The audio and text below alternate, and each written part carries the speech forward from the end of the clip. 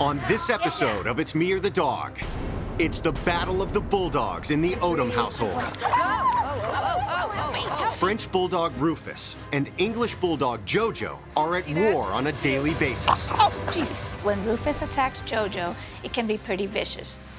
Stop it! Don't be excited! He latches onto his face and holds on really hard. What's happening in my home with my pets It's taking a toll on me physically. I get migraines. I was just in the emergency room last week. I am exhausted. I, I need help. And now we want to introduce you to Jojo. Come on over. Unfortunately, we have to keep him in a cage Jojo's kept in here. Why? because Rufus will attack. Rufus will Oh. attack Jojo. So we can't let them both free at the same time, or there'll be a problem. Oh dear. But if I have Rufus on a leash, he won't attack him. Okay. Jenny told me that as long as Rufus is on a leash, he doesn't attack Jojo. So I asked her to put Rufus on a leash and then take Jojo out so I could see how Rufus behaved around him. Circling, circling, and he looks for a moment when. Oh oh, oh, oh, oh, help me, help me, help me, help me. Oh, come on. That's, So it does happen when he's on the fault. leash. No, that's a first. That's a first. Wow. What's going on? Let's put, we'll put him back in there for now. I'm sorry, Jojo. Rufus, why? It's really worrying to witness a dogfight in the first place, but it's even more worrying to witness a dogfight with a dog that bites and holds. Biting and holding during a fight and then ragging is extremely dangerous and can cause severe injury and, in certain cases, death.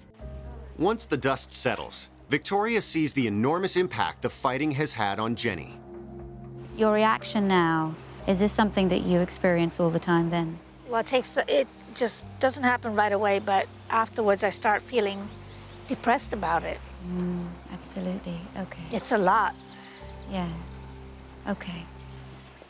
Jojo is put in, as it were, social isolation for a little while throughout the day, while Jojo's enemy, Rufus, the French bulldog, is able to run around. And throughout the day, they're rotated. So each dog spends a certain amount of time in the cage while the other dog is running free. So, has this fighting caused you to be ill? Oh, yeah. Yeah. Definitely. It's given me migraines. I've ended up uh, in the emergency room with situations from being emotional, I think, from it. Yeah. Well, she also has uh, uh, lupus, so the stress. Oh, The lupus stress. is stress. I can't have stress because it attacks my organs. Wow. Okay. So this is pretty serious. This This is the very situation's serious. very serious. Okay. Yep. Okay.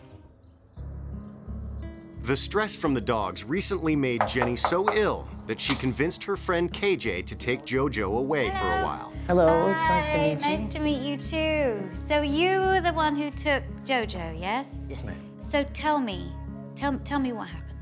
I, it was unbearable. I mean, I didn't want to get out of bed. And the only thing I could do at this point is call KJ and said, please take my dog. So I agreed to come down here and I, I met JoJo and we kind of bonded right away.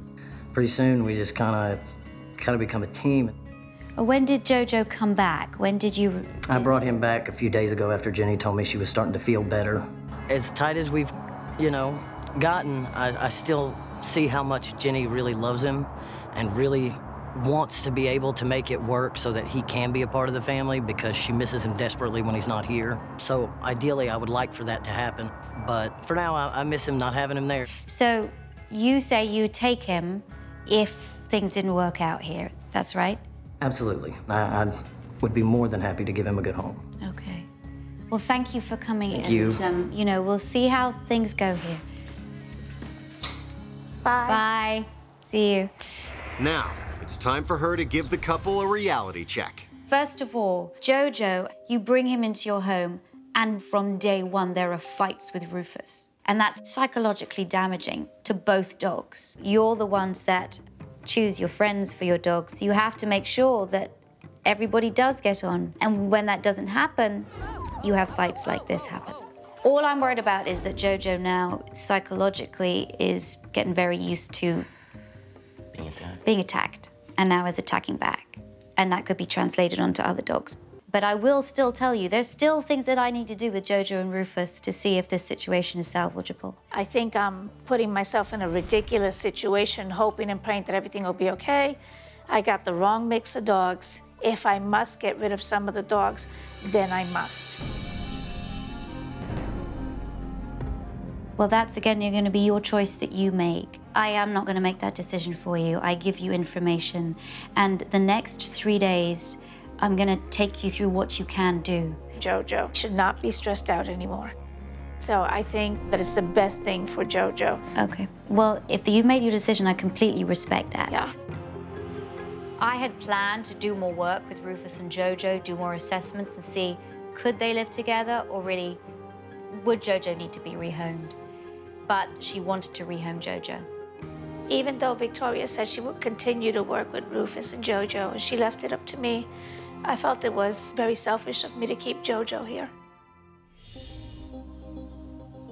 With the heart-wrenching decision made on Jojo's future, Jenny calls her friend KJ, who has offered to take Jojo into his home. I think that JoJo's gonna be a better off moving with me because he's gonna be the only dog in the household. He's gonna get sole attention. At least he won't have to worry about being left out uh, at the place he calls home. You know, with bulldogs, unfortunately, they are genetically compromised because of the way they've been bred. Their features have almost been bred to the point where they're now so grotesquely off what they used to be. And they're one of my favorite breeds, but I also think that breeders have gone way too far with breeding them. So now they have so many breathing problems and health problems, and their, their, their legs are too short and too small to su really support the weight of their body. Heads are so big that mothers can't give birth naturally. They have to be done by cesarean section. You know, so obviously owning a dog like this, it is going to be an expense because you will probably be constantly at the vet. Um, and that's the unfortunate side of, of it.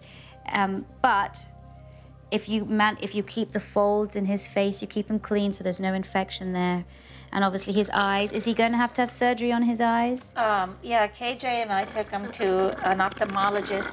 He does need surgery, and they're saying that he needs a different kind of surgery. Soft palate surgery too. Um, So- they said his is pretty bad. Yeah, at this point, we just decided, you know, uh, since KJ is um, assisting us with the dog, that we'll assist with the finance of the surgery at this time. Very good, good. Because he needs it. So then, yeah, because obviously if he lies in a position, his back, his tongue is going to just fall back, isn't it? Mm-hmm. And Stop he said summer is much worse, you know. Really? And you have to be careful playing with him because they don't realize how much oxygen they're not getting if they get too excited. Mm. So sometimes we have to take a break. Okay. All of this love is great, and that's going to bring up the, the beautiful bond. But if I want to ask him to do something, I need to get the dog's attention. Okay. Watch. Good boy.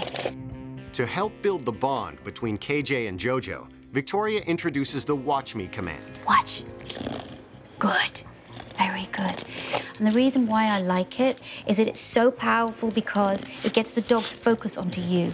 And that's a great connection. So I want you to do that with him. All right. So get him, you put it in front of his nose, you put it up to your eye, and you say, Watch me. Don't let him jump up. Watch. Beautiful. That was an amazing moment because I realized that this is going to work. You know, he does know who I am, and he is going to listen to me. Good. Building up that language of communication. That's going to be so important for this dog, all right? Because you remember, you got a headstrong bully breed here.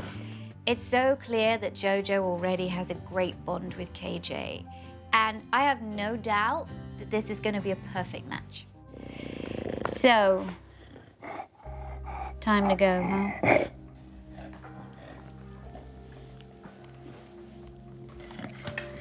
Go on. Bye. Bye. I'll see you later. See you. See you later, KJ.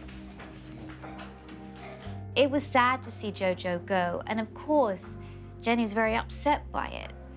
But Jojo is going to be so much more successful, so much less stressed. Separating is not easy. No, it's not. I know that it's the right thing to do. I know KJ's gonna love him. I just know everything's gonna work out. JoJo is settling in quite well. He no longer has scratches on his head. Um, he doesn't get bullied. So he just all around seems to be like such a happy dog now. Thanks for watching. If you love It's Me or the Dog and want more dog training tips and tricks, visit my official site positively.com.